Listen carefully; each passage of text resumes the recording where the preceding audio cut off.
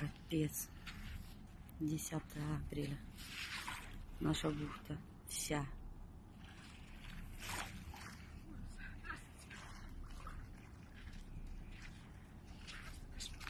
Доброе утро. Если его можно назвать добрым. Капец.